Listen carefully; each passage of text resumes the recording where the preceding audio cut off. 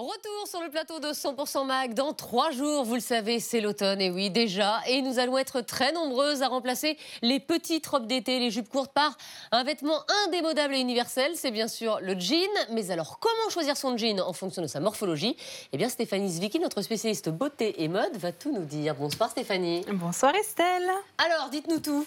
Ah bah oui. Le jean. Bah, le jean, c'est pas facile à trouver. hein. On en possède tout dans notre garde-robe et Dieu sait que Enfin, c'est c'est... facile à trouver, mais c'est pas facile de le choisir. Voilà, exactement, par rapport à sa morphologie. Alors moi, je suis allée faire un peu de shopping avec quatre filles au profil morphologique complètement différent, pour justement montrer ce qui leur va. Alors la première, on va commencer en fait avec Aurore, une jeune femme toute menue et petite. Alors pour Aurore, le jean idéal, c'est le skinny. Alors le skinny, c'est un jean qui est tout droit et resserré, c'est-à-dire une seconde peau, Mhm. jusqu'en bas, jusqu'en bas du jean. Donc ça va mettre en, en évidence ses jambes, il faut qu'elles existent. Et en fait, ça va harmoniser la silhouette, euh, idéale pour, euh, pour une jeune femme euh, plutôt petite comme Aurore. Et alors, faut le, le porter avec quoi ce jean skinny? Oui, on, on le porte avec des talons en plus, euh, donc ça Pour agrandit la, la- la silhouette. Tout à fait. Estelle. Ensuite, euh, nous avons Sandrine. Alors Sandrine, c'est une jeune femme qui porte ses rondeurs au niveau des hanches. Comme beaucoup de femmes. Voilà, exactement. Alors le jean idéal pour, euh, pour Sandrine, c'est ce qu'on appelle le jean boyfriend. Le oui. jean de garçon, un Voilà, petit peu, qui celui qu'on qu'on pique euh, en fait au, au- au garde-robe de nos hommes. Mhm. Alors c'est un jean qu'on porte un peu large, on le choisit en généralement une à deux tailles au-dessus, Mhm. et puis on reboule le bas, euh, comme ici. D'accord, on fait des On petits sur ce jean, voilà exactement, qu'on roulotte sur le bas. Et puis alors ce qu'il faut faire avec le, avec le jean boyfriend, il faut le féminiser à fond. euh, voilà, ça fait un pour- peu sac. Pour, ouais, puis ça fait un peu à côté garçon. On est des filles. hein, Alors, comment on le féminise? Ah ben, un petit blazer, une pochette, les accessoires, on peut, on peut y aller. hein. On peut vraiment y aller.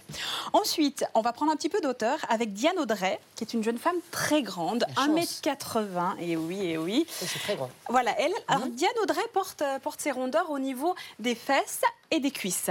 Alors, Mhm. idéalement, il faut rétablir euh, l'harmonie sur la jambe. Idéalement, c'est le jean bootcut. Alors, le bootcut, en fait, il est euh, un peu plus évasé sur le bas.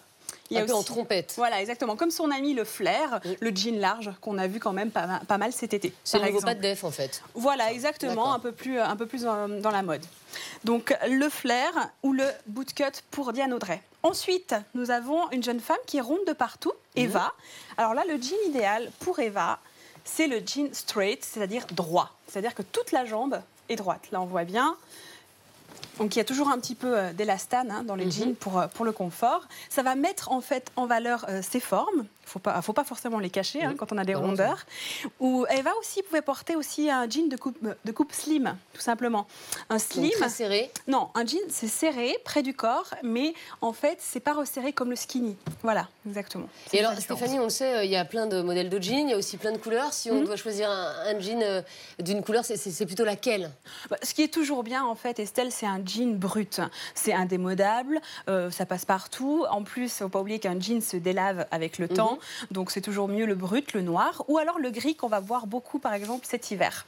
Et dernière question sur la, la- la longueur de jambe. Euh, on dit euh, parfois que les jeans rétrécissent, d'autres fois euh, qu'au contraire, enfin voilà, ça reste la, taille Ouais. reste la même. Alors, est-ce qu'il faut choisir un jean un petit peu grand au niveau des jambes ou, ou pile à la bonne taille? Non, bah, en fait, il existe. Le jean, c'est le seul pantalon, entre guillemets, où on peut choisir sa longueur. Ça, c'est important. Il, y a Mhm. des, il y a un chiffre comme ça qu'on peut vraiment choisir à l'achat. Ensuite, mieux vaut le laver quelques fois avant de procéder euh, au. Une petite retouche. Ouais, oui, exactement, parce que sinon, après, on se retrouve avec l'eau à la cave et c'est pas très joli. Et non. Voilà. Merci beaucoup Stéphanie d'avoir été avec nous. Et je vous...